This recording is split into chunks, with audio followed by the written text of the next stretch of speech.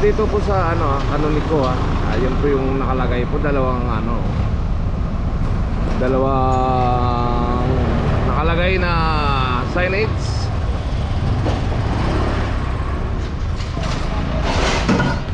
So yan po, may signage po kami na nakalagay ah, no parking to always soon. So andito pa sa likod niya mismo, ay parang baliwala lang sa kanya. Baliwala lang sa kanya yung aming ah, signage na no parking for soon. So medyo sira na isa pero may isa pa rin sa taas. So yung isa naman andito rin oh. Nasa ano mismo. Nasa Bukana. So yan po yung signage din oh. No parking always soon.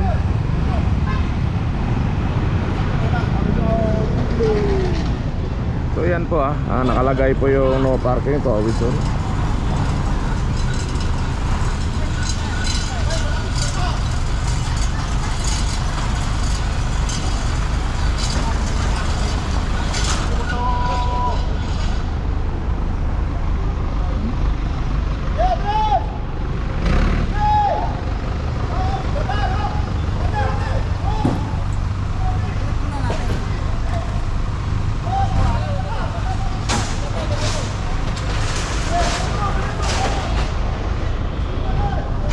So dito po yan sa ano, tapat ng Abida Towers.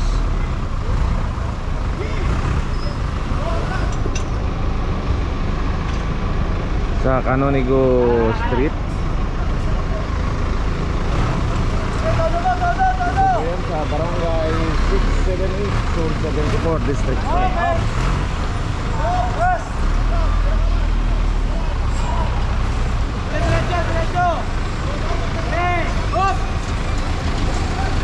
So yan po nakabitan na po ng lifter. Impact number 39 ang kukuha nito.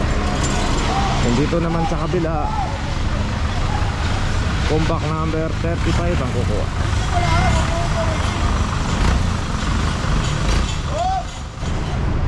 So kung mapapansin natin Paglalabas yung sasakyan dito Andito pa siya sa tapat mismo ng ano ng side ano ng pedestrian lane.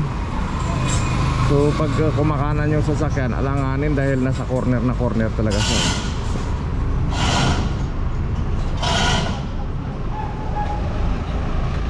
So yan po, nakaangat na dito yung isa yung ano dito? Uh, Kia Rio. So yan po, natanggal na po dito sa kanyang pinagparkingan.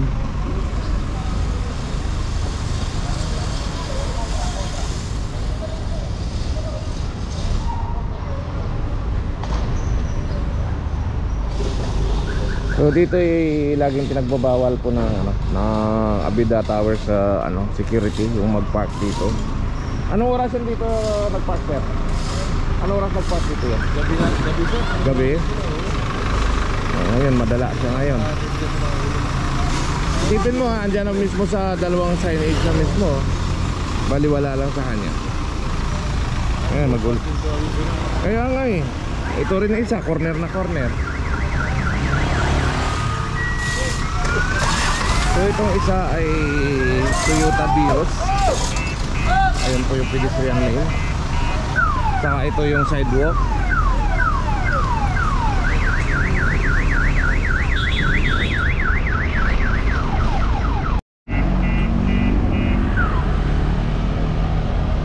So yan po tinatanggal na dito, yun oh. Kalahin mong inarangan yung ano dito yung sidewalk at saka pedestrian lane. Tapos kitang kita dun yung no parking clamping zone pero andito pa rin sila. Malamang nung gabi nito puno dito at dito lang sa dumugtong kagabi. Dito po yan sa Canonigo Sports Complex. So dito po kami sa ano sa Pass Street.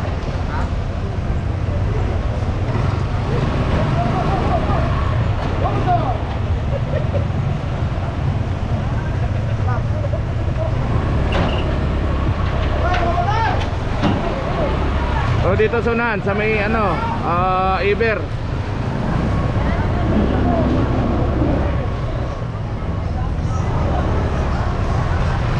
So yan po lahat dito sa ano sa bus trip.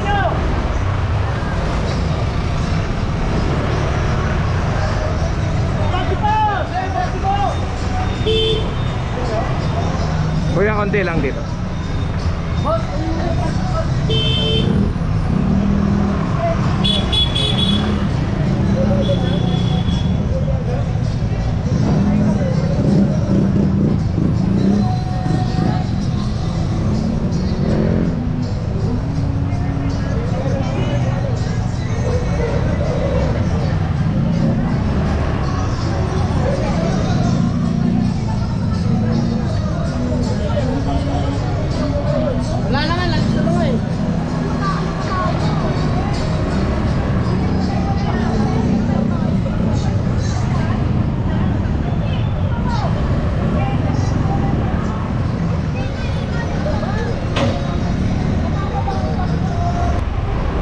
So yan po, isa sa taas dito.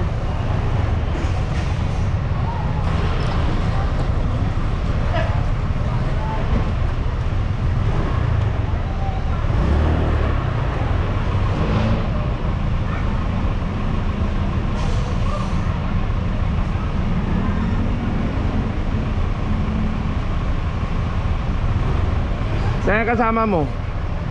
Uno, lampit.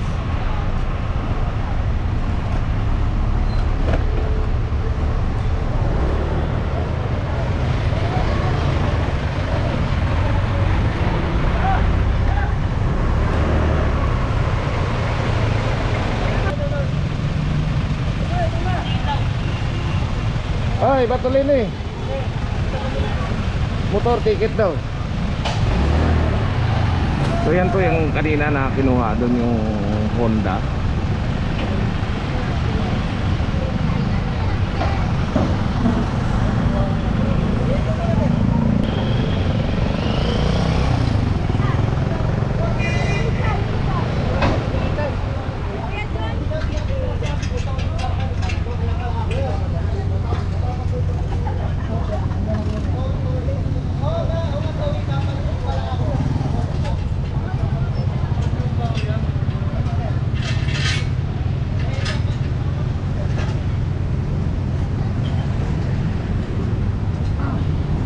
Isang owner type dito. Ah, Gumagana pa naman to.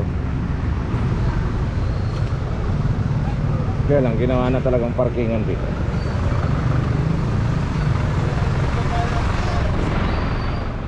So yan po natak na po yung Owner type ah, Jeep. Dito po yan sa ano Pass Street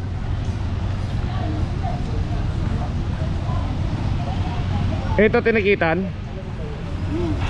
Ito tinikitan to isa dahil ah, dito naman yung may-ari ng sasakyan. Nagpa-ticket na lang siya.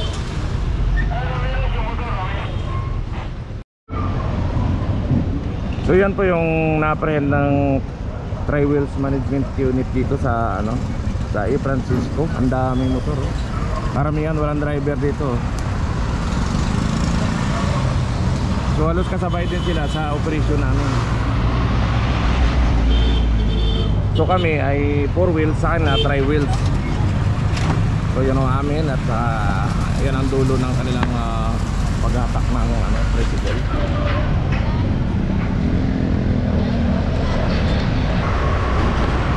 So dito may nakuha pa isa sa sidewalk.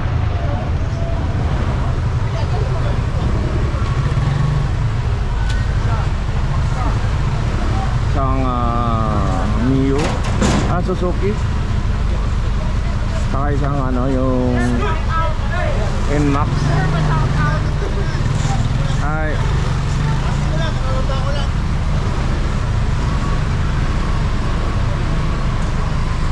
Kabababa lang eh, kagigising mo lang eh Kunin yan, kunin yan. Dito sa kanya. Hindi nga ilas hindi nga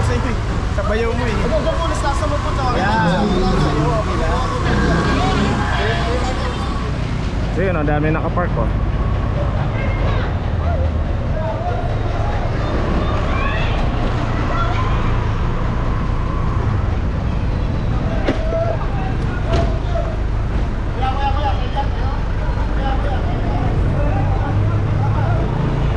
Hindi, bigay mo na yan, tol. Tol. Bigay mo na yan, bigay mo na yan. Ito lang, oh. Ito, yung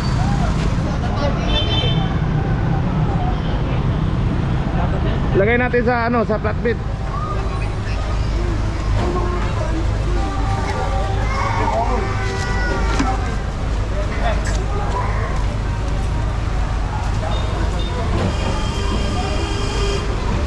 So yung isa dito po sa tapat ng Jollibee po na kuan may nakalagay po tayo na no parking provision. So kahapon may nakuha rin kami dito. Ah, dalawang ah isang motor sa isa tinikitan. So ngayon may dalawang Honda Click dito ulit. Oh, Picture mo? oh, mayroong video.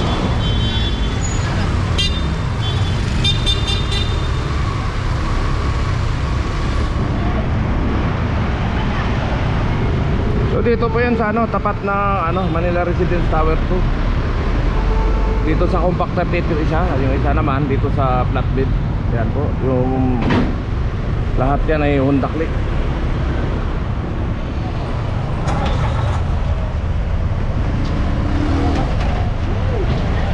So dito po sa tapat ng hospital ng Maynila. Isang Honda ano to? Honda. Wow.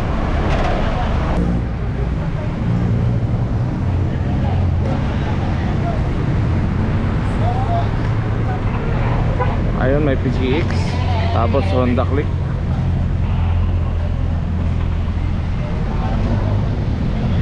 At sa isa rin ay Honda Click din.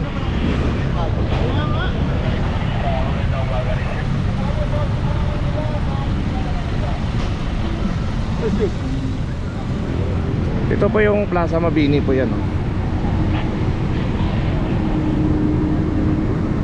So laging ah, dito maraming naka-park dito. At laging kino-complain din yan.